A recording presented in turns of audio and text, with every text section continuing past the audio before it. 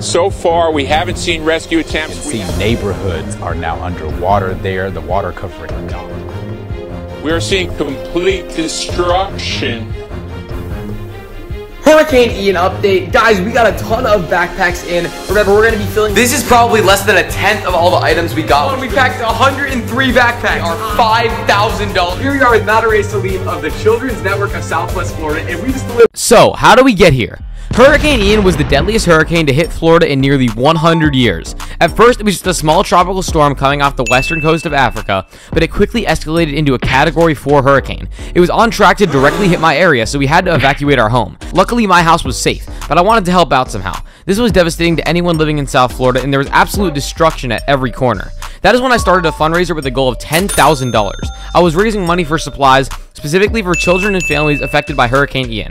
After only a week, we surpassed our goal and raised $10,400. Valentina, we already raised $10,000. What? This surprised me so much. The support from friends, family, and even complete strangers was incredible. Now it was time to find a place to deliver the supplies to. I searched for weeks and weeks without finding anything until... Children's Network of Southwest Florida? This organization seemed perfect. They were based near Fort Myers and had nearly a 20 year history of helping children and families in South Florida. I got in contact with the amazing Miss Nadare Salim. I texted her and asked what supplies they needed. With the help of Miss Salim, here's the items that I decided on for donations. Diapers, baby wipes, socks, blankets, toys, and snacks. We also wanted to buy backpacks because many kids are still out of school six weeks after this hurricane hit. We did the math on how many backpacks we could buy with the funds and decided on 300. On top of all these items, we plan on buying $5,000 worth of gift cards for groceries and gas because this was the biggest need at the time. The next week was spent buying items and eventually they all came in. When they all got here, I couldn't believe how much there was these backpacks with items to help children and families in South Florida. And I want to show you guys some of the backpacks that we got in.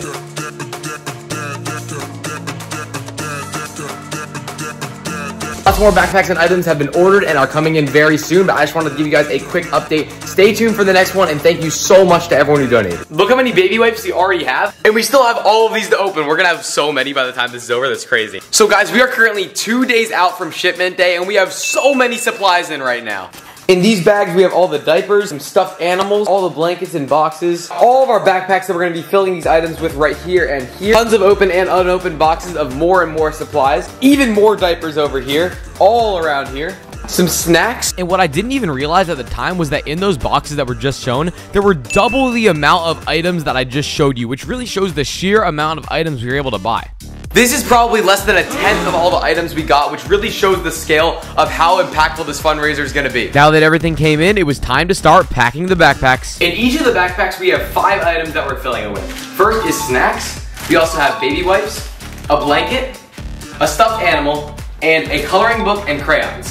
Aside from the backpack, we're also going to be giving diapers and $5,000 worth of Walmart gift cards for gas, groceries, and anything else they may need.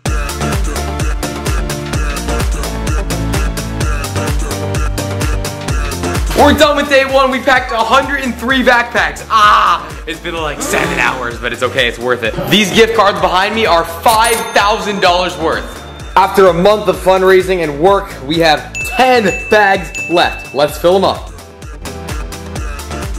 We spent 10 to 15 hours packing the backpacks over the course of two days and we're set to deliver until... Hey guys, so the plan was to deliver supplies today for Hurricane Ian, but early Hurricane Nicole is hitting us too. It's not as severe luckily, so we're gonna be okay, but supplies will now be delivered Monday. Thank you guys and stay tuned. Luckily, this was only a Category 1 hurricane, leaving little damage compared to Ian.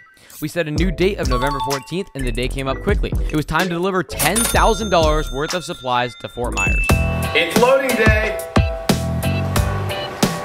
I'm here with Larry from Ambassador Limousines, and we are going to be packing all the items that we gathered right now. We're going to go down, we're going to help the Hurricane Ian folks. We're going to make them feel really, really good.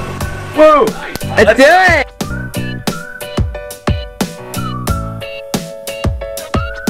Here we go, guys. Look at all of the backpacks behind me. In total, this is 300 filled with socks, toys, baby wipes, diapers, snacks, gift cards, and more.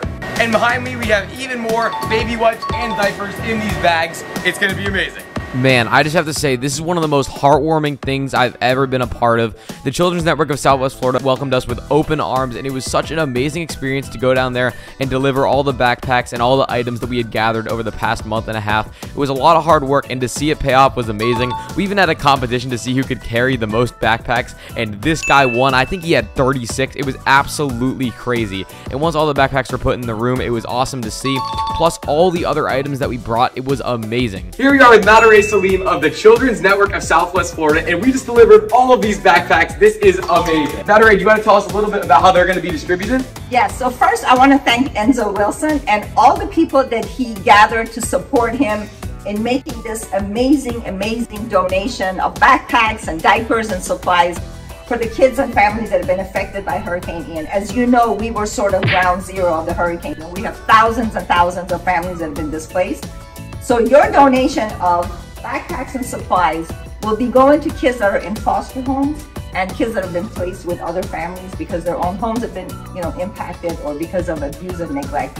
So this will go to great use. And to see a young man with this much heart and passion and compassion for others has made me hopeful that we can achieve great things and you've already done that and today you have blessed us with all of this and I just can't thank you. Oh, thank you so much, Nadaray. Without you, this wouldn't have been possible. We wouldn't have had a place to donate to, so thank you so much. And also, along with all of the backpacks, we wanted to present you with $5,000 worth of Walmart gift cards. Yeah! We will never forget this generosity. And there we have it, you guys. The delivery was a success. These items will be going to foster homes for children that have been displaced from the hurricane. And I'm honestly extremely proud that we were able to do this. This was an amazing project and it took a long time to get done, but once we did, it felt so fulfilling to know that these items were going to a good place. A massive thank you to everyone who donated to make this possible. There were so many amazing people who donated to and shared this fundraiser. Without you all, this would have never happened, and now a large number of children and families in South Florida will receive some much needed relief. And the biggest thank you of all goes to Miss Nadaray Salim from the Children's Network of Southwest Florida because without you, we wouldn't have had a place to deliver this to. Thank you so much again.